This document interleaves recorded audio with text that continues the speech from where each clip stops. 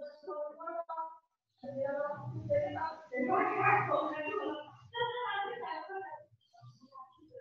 you.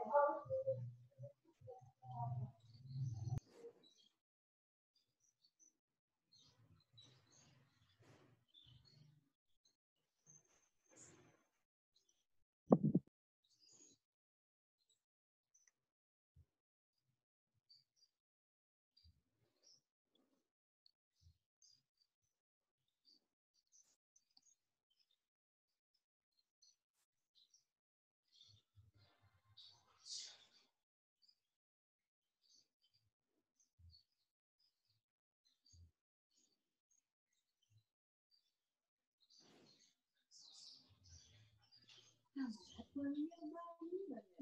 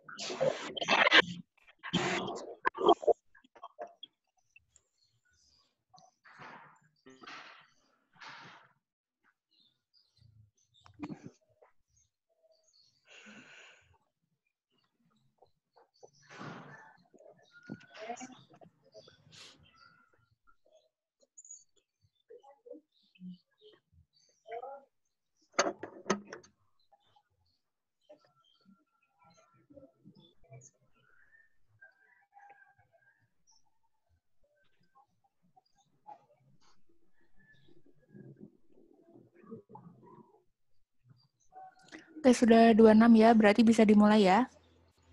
Untuk neonatus. Oke, kita neonatus, bentar. Untuk neonatus berarti materinya yang belum materi pertemuan ke-9 ya. Untuk neonatus,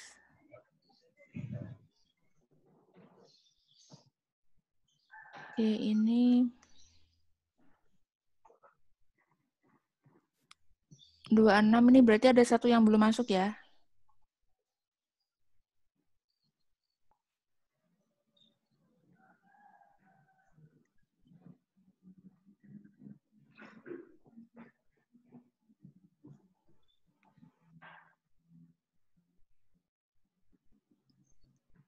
Sudah terlihat ya untuk neonatus ya?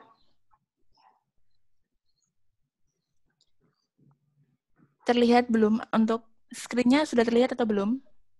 Sudah. Oke, okay. berarti ini asneo ini sampai ke asuhan pada bayi baru lahir dengan masalah yang lazim, yang lazim ditemui. Yang pertama, di sini dalam asneo ini ada yang lazim ditemui, artinya nanti kalau asuhan kebidanan ke neonatus ada beberapa yang biasanya sering. Sering kita temui di lahan praktek. Yang pertama itu bercak mongol, kemudian hemangioma, ada ikterik, ada muntah dan gumoh, ada oral thrush, ada diaperash, ada sebure, ada bisulan, ada miliriasis, diare, dan obstipasi. Jadi ada sekitar berapa ini? 11, 11 ini, 11 kondisi. Yang pertama ini bercak mongol ya. Untuk bercak mongol biasanya ada makulanya itu biru sampai hitam dan biasanya ditemukan pada daerah lumbosakral 90% pada bayi India, negro maupun oriental. Jadi tidak memandang dari ras tersebut. Dan ini biasanya juga ada di bahu, punggung dan biasanya meluas sampai pantat. Bercak mongol ini ada dari pigmen, biasanya kumparan yang terletak di dalam dermis. Jadi di dalam dermis. Artinya dia tidak di luar. Kalau epidermis kan hanya di luar, tapi kalau dermis berarti di dalam. Dan biasanya lesinya itu akan memudar sepanjang perjalanan waktu. Tetapi biasanya juga menetap sampai dia dewasa. Jadi tidak bisa hilang kalau bercak mongol. Mirip kalau orang menyebut itu tanda lahir atau toh ya. Ingat ya kalau itu. Lebih mudah dipahami ya. Kemudian kalau bercak Mongol ini memberitahu ibu bahwa bayi itu punya bercak Mongol dan konseling bahwa bercak Mongol itu tidak berbahaya dan tidak ada penanganan khusus. Biasanya menghilang di dua tahun pertama, tapi ada juga yang menetap. Jika memang sangat mengganggu, itu bercak Mongol bisa ditangani dengan cara dilaser. Jadi kalau tidak suka mungkin dengan tanda lahirnya, mungkin bisa. Kalau mau dilaser bisa hilang. Untuk kedua, hemangioma. Hemangioma ini tumor jaringan lunak atau tumor vaskuler jinak. Artinya dia proliferasi dan dia dari pembuluh darah yang tidak normal. Dan dapat terjadi pada setiap pembuluh darah. Biasanya terjadi pada anak yang kurang dari satu tahun dan tampak sejak bayi dilahirkan. Atau muncul setelah beberapa minggu setelah kelahiran. Dan hemangioma ini muncul di setiap tempat pada permukaan tubuh, misalnya kepala, leher, muka, kaki, ataupun dada. Untuk hemangioma, ini ada beberapa macam. Untuk penanganannya, biasanya tidak ada penanganan khusus karena akan hilang, dan biasanya kulitnya terlihat normal. Tapi kalau hemangioma ada di organ vital, misalnya seperti mata, telinga, tenggorokan, dan ada perdarahan, maka ataupun ulcerasi atau pembengkakan, maka ada infeksi dan dia ada pertumbuhan, maka harus dilakukan penanganan dan tetap untuk dirujuk seperti itu. Jadi hemangioma yang ada di bagian yang tidak vital bisa hilang sendiri, tapi kalau yang ada, yang ada di organ vital itu tidak bisa hilang biasanya karena takutnya dia udah mengalami infeksi, uh, ulcerasi seperti itu. Dan ada yang pertumbuhannya cepat. Jadi tetap waspada kalau ada hemangioma. Kedua, kondisi muntah dan gumoh. Ada karena dia kelainan kongenital, berarti muntah dan gumoh itu jangan disepelekan. Biasanya juga ada kelainan kongenital pada saluran pencernaan, iritasi lambung, atresia esofagus, Hisprung, tekanan intrakranial yang tinggi, itu biasanya dia gumoh atau dia muntah. Yang kedua itu biasanya infeksi pada saluran cerna. Kemudian pemberian makan yang salah bisa, misalnya setelah menyusui tidak disendawakan, itu juga bisa muntah dan gumoh. Dan biasanya ada juga yang keracunan. Karena biasanya mungkin keracunan dari pemberian makanan tambahan yang diberikan tidak higienis. Itu bisa ngaruh ke muntah dan gumoh. Yang pertama, teknik menyusui harus benar. Posisi botol saat memberi susu juga harus benar dan juga harus uh, bersih. Artinya ada di steril dulu, di dimasak dengan air panas itu lebih bagus karena melindungi dari adanya uh, mencegah dari adanya timbul apabila nanti bayinya keracunan karena ada bakteri di saluran cerna.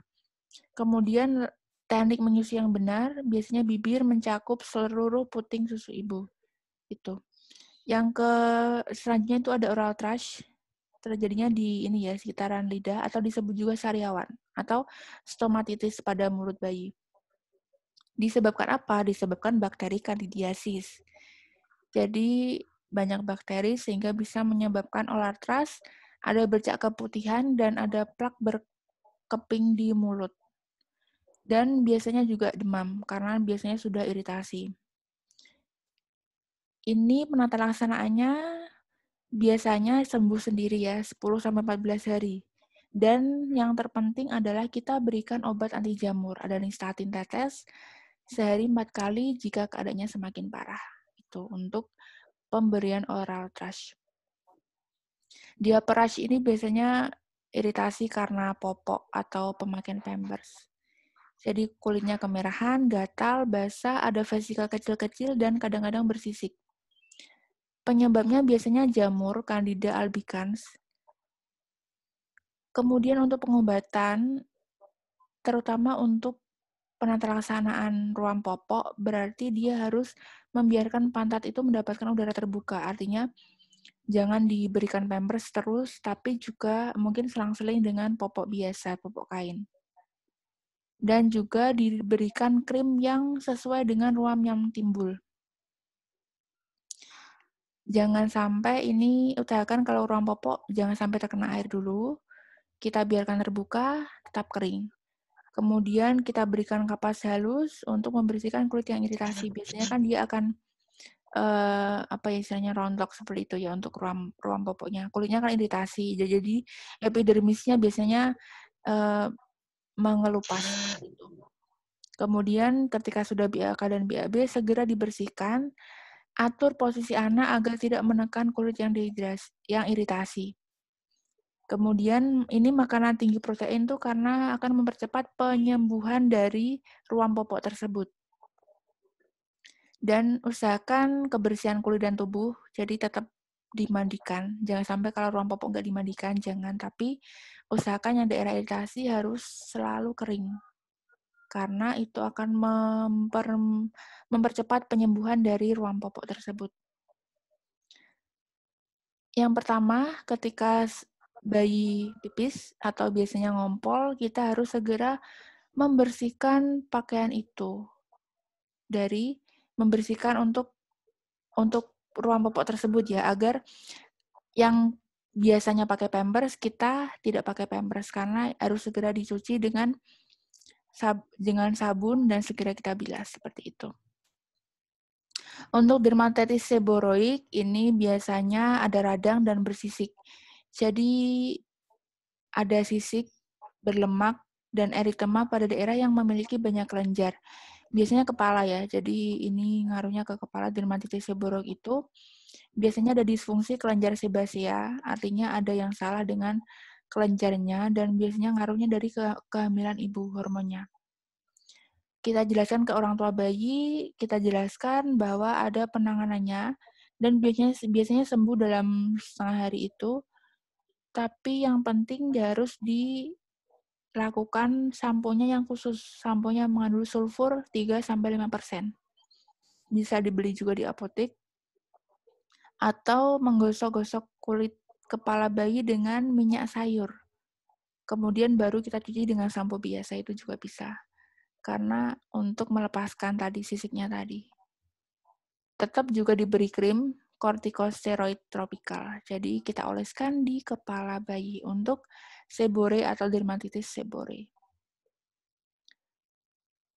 Kemudian konstipasi biasanya terjadi di banyak bayi karena kesulitan pengeluaran tinja biasanya karena ada juga yang karena patologi seperti tumor, trauma belakang kepala, penyakit hisprung, maupun juga gangguan metabolik. Ini yang biasanya terjadi misalnya kurang sayur dan sebagainya.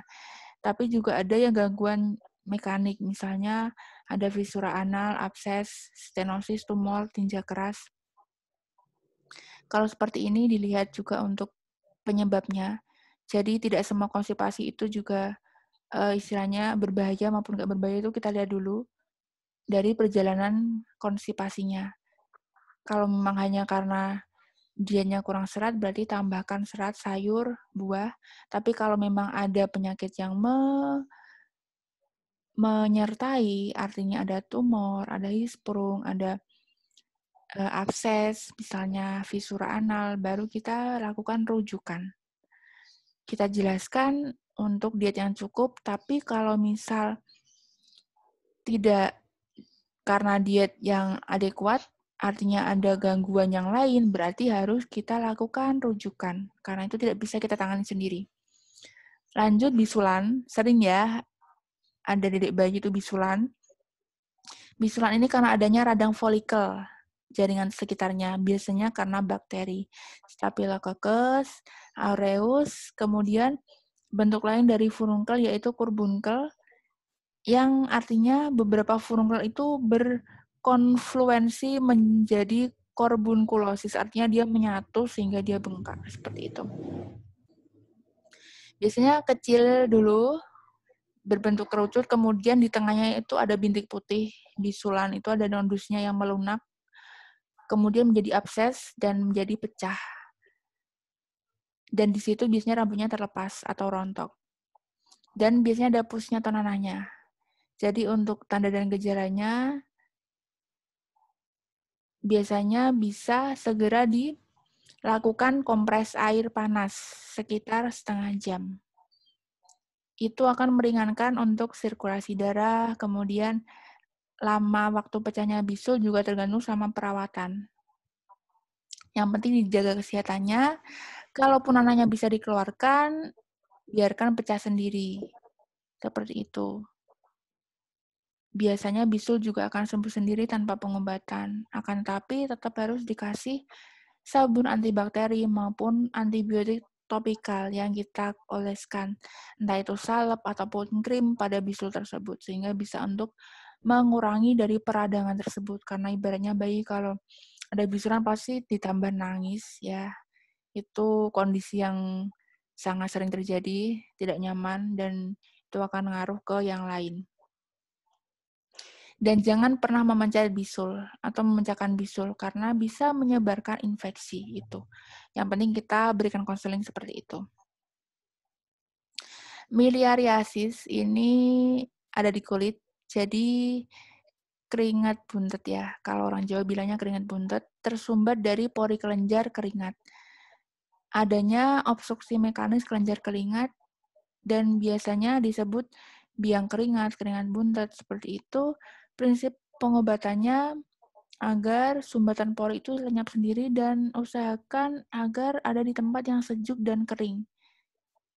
Agar bisa mengurangi bertambahnya keringat buntet. Artinya kelembapannya juga sejuk maupun kering. Dan usahakan bayi, bayinya itu pakai pakaian yang menyerap keringat dan tidak terlalu sempit. Biasanya kalau dikasih baju yang terlalu sempit itu mengaruhnya ke keringat buntet seperti itu. Kalau keringat buntet, ini yang biasanya sudah sering dipraktikkan, tetap kita berikan bedak salisil, bedak salisil merek-merek tertentu itu sekitar 2%, dan yang ada mentolnya itu untuk mendinginkan ruamnya dan biasanya hilang sendiri. Kemudian diare, diare ini terjadi kalau dia lebih dari empat kali pada bayi dan tiga kali pada anak encer warnanya hijau dan biasanya campur lendir maupun darah. Atau juga lendir saja. Biasanya bayinya cemas, cengeng, gelisah, nafsu makan tidak baik, kemudian timbul diare, kemudian warnanya biasanya berubah hijau dan takutnya nanti anus maupun daerah sekitarnya lecet. Karena itu pasti dari tinja tersebut makin lama hmm? makin asam. Jadi itu ngaruhnya ke lecet tersebut tuh karena tinjanya makin hijau. Kemudian oh, adanya muntah. Uh. Kemudian yang klasifikasi diare itu ada dehidrasi berat. Itu ah, sudah sampai ke matanya cekung. Dia nggak sadar, nggak mau minum. Ketika perutnya dicubit itu kembalinya sangat lambat karena kulitnya sudah sangat ibaratnya sangat ini ya sangat cekung seperti itu. Dan kalau dehidrasi berat itu tetap dirujuk karena gula darah biasanya turun. Dehidrasi ringan, gelisah, rewel, mata cekung, tapi biasanya masih bisa ditangani. Tapi untuk dehidrasi dehidrasi ringan ini harus tetap dirujuk dan tetap dikasihkan oralit dan tetap diberi ASI. Kalau diare tanpa dehidrasi, biasanya harus lebih sering untuk memberikan ASI. Jadi, yang dirujuk tadi adalah diare berat dan diare dengan dehidrasi ringan. Itu. Kalau diare tanpa dehidrasi, tetap bisa diberikan ASI. Kalau diare diare persisten lebih dari 14 hari, nah ini sangat lama ya. Harusnya jangan sampai terjadi karena ini lebih lebih gawat penanganannya ibaratnya di diare 1 2 sampai 3 hari aja mungkin ibu bayi tersebut sudah uh, sudah kalang kabut mungkin ya maksudnya khawatir. Tapi ini diare persisten itu sampai setengah bulan itu harus tetap kita rujuk. Kalau ini sudah terlambat ya, kalau misal 14 hari dia diare nggak ditangani sama orang tuanya, ini pasti kondisi bayinya sudah letargi, lemas, dan dan dehidrasinya sudah berat seperti itu. Jika ada darah atau tinja, berarti ada kemungkinan mengalami disentri. Yang disentri ini artinya ada kemungkinan penyakit lain seperti disentri. Maka rencana terapinya kalau di rumah beri cairan tambahan, kemudian tetap diberikan makanan atau ASI, dan juga diberitahu kapan harus kembali. Tapi kalau sudah dirujuk berarti penanganannya untuk cairannya ada tambah dari infus mungkin kalau di rumah sakit. Maka harus cepat diberikan IV atau cairan intravena. Kalau bisa diberikan lewat mulut, berikan oralit. Sementara di infusnya biasanya pakai cairan RL atau NaCl, seperti itu. Ini untuk bayi resiko tinggi, ada sekitar 8. BBLR ini bayi berat lahir kurang dari 2.500 gram, tidak memandang masa gestasi, jadi ketika ditimbang dia kurang dari 2.500, berarti dia langsung bayi BBLR, jadi harus segera diberikan ASI satu jam sesudah kelahiran. Dan tetap harus diperiksa untuk tanda bahaya, apakah ada infeksinya atau tidak. Kemudian, perawatan kulit ke kulit ini biasanya metode kanguru, untuk menjaga kehangatan dari bayi tersebut dan untuk memberikan penambahan berat badan.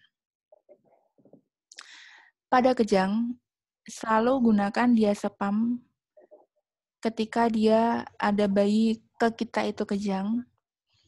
Dan dosisnya bisa dilihat untuk pemberian kejang biasanya kita lakukan via rektal, jadi nggak via uh, mulut ya hanya via rektal ataupun IV kalaupun sudah terpasang IV tapi kalau tidak terpasang IV biasanya kita pakai via rektal.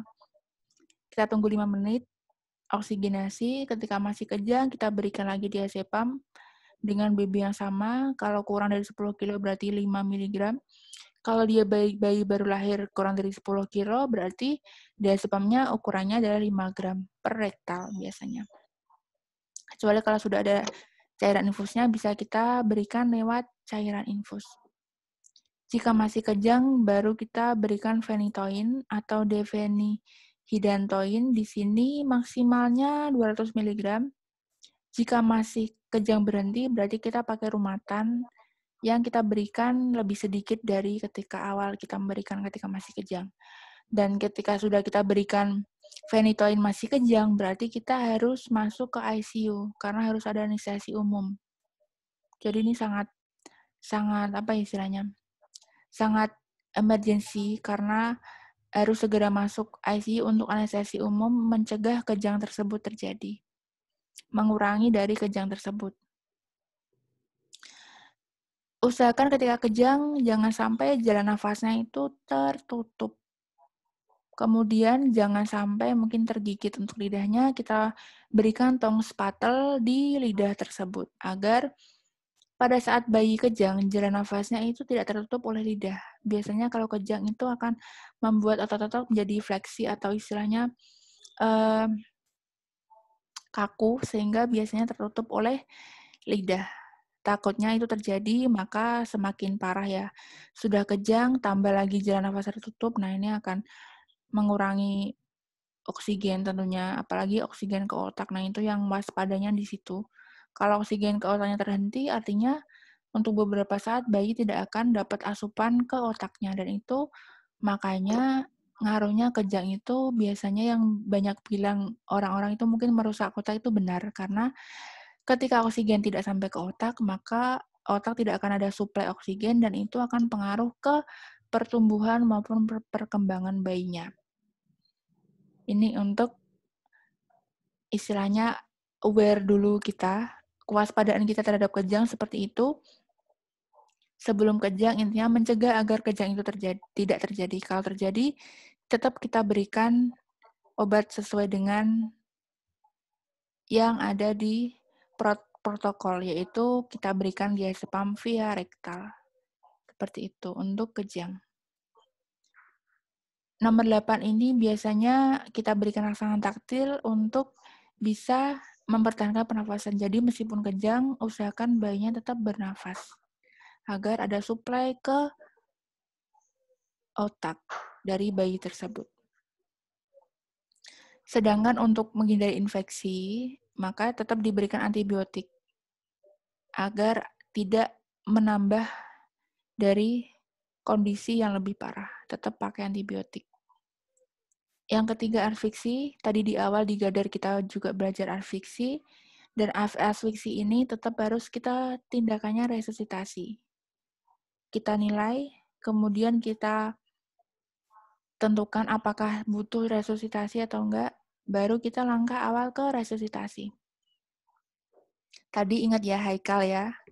H untuk hangatkan, jaga bayi tetap hangat. A untuk atur posisi. I, isap lendir. K, keringkan, lakukan rasangan taktil. A, atur posisi. L, lakukan penilaian. Itu.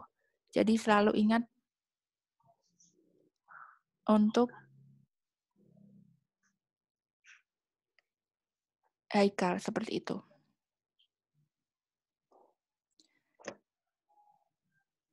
Lanjut ke VTP pada bayi asfiksi. Di sini kita jelaskan tadi VTP-nya kita belajar tadi dua kali per, pertama kita dua kali percobaan. Setelah dua kali percobaan bisa dan dada mengembang lakukan ventilasi 20 kali dalam 30 detik. Itu. Sesudah prosedur tadi belajarnya tadi ya stable kita berikan untuk tindakan sesudah resusitasi apa aja tadi untuk stabilnya tadi sudah dipelajari di Gadar. Kemudian terakhir hipotermi. Hipotermi ini penurunan suhu di bawah 36,5 derajat Celcius. Di sini hipotermi biasanya keter, eh, karena terjadinya kondisi lingkungan bisa, karena konveksi bisa, karena konduksi bisa, jadi kehilangan panasnya mungkin bisa lewat aliran udara maupun dari benda-benda yang menyentuh bayi, dari handuk yang ibaratnya dia basah, itu bisa. Dan langkah preventifnya, kita harus segera keringkan bayi dan lakukan skin-to-skin kontak. Kontak dengan kulit ibu itu sangat berpengaruh ke bayi. Dia bisa menghangatkan bayi. Dan harus segera diberikan ASI. Seperti itu. Jadi, untuk hipoterminya, tetap kita perhatikan handuknya, jangan sampai yang handuk basah, tapi handuk yang kering hipotermi berat juga. Kalau hipotermi berat biasanya ditambah gangguan nafas karena dia biasanya kurang dari 35 derajat Celcius. Kalau hipotermi sedang, ini juga sama penanganannya. Yang penting adalah yang bisa kita lakukan tetap kita hangatkan, kita ganti untuk pakaiannya, jangan sampai pakai handuk yang basah. Kemudian Lawannya hipotermi adalah hipertermi. Hipertermi artinya meningkat lebih dari 37,8. Dia berarti panas. Jadi bisa karena dehidrasi.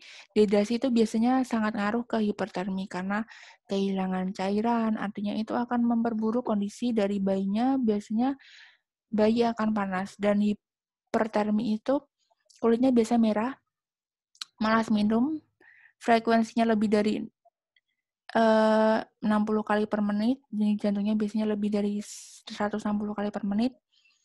Kedinginan lemas, jadi meskipun hipertermi belum berarti dia tuh ke, uh, belum dia tetap bisa kedinginan karena hipertermi itu juga ngaruhnya nanti bisa ke kejang seperti itu. Jadi makanya waspada kalau bayi panas takutnya nanti ngaruhnya ke kejang seperti itu. Hipoglikemi itu ketika diukur darahnya kurang dari 5 mg per dl, biasanya sering dicek di rumah sakit, tapi kalau di klinik sederhana biasanya jarang dicek, tapi di situ untuk bayi yang beresiko tinggi BBLR, BMK, maupun bayi dengan ibu yang menderita diabetes mellitus. Seperti itu. Kalau tidak, biasanya jarang dilakukan. Tapi ingat kalau dia BBLR, BMK, bayi dengan ibu DM tetap dilakukan pemeriksaan untuk gula darah atau kadar glukosa darah. Untuk tetanus neonatorum biasanya lebih sering terjadi pada infeksi karena ada Clostridium tetani. Ini menyerang sistem saraf pusat karena pertolongan persalinannya tidak steril. Di sini biasanya kejang. Jadi kalau tetanus itu biasanya lebihnya kejang. Jadi penanganannya hampir sama dengan kejang dan juga mengobatinya dengan suntikan ATS, anti tetanus serum. Untuk pencegahannya biasanya pada ibu hamil ada TT tiga kali sebelum trimester 3 secara berturut-turut dan pemotongannya tali pusat harus dilakukan dengan cara yang steril.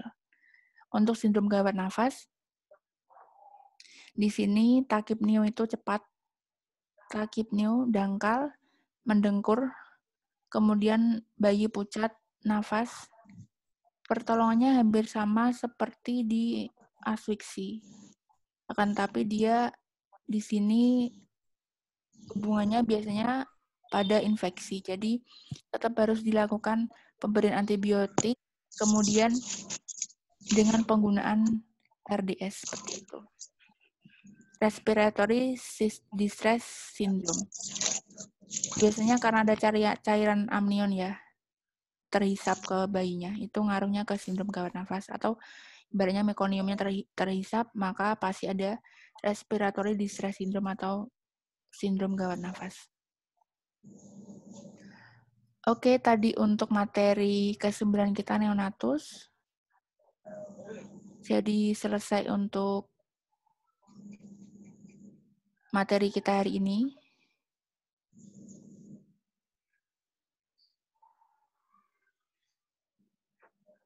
Ini berarti partisipannya sudah 27 ya, lengkap berarti ya.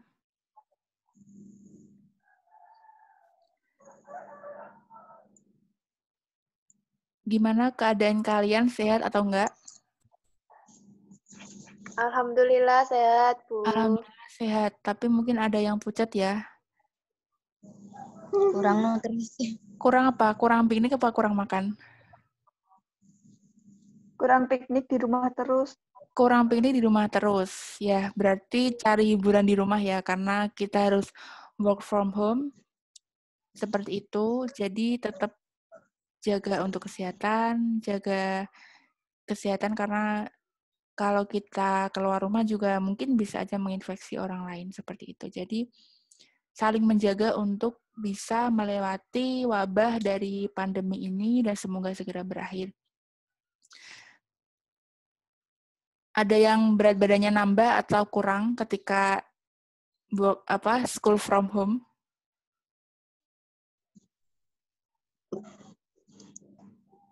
Nambah Kebanyakan nambah.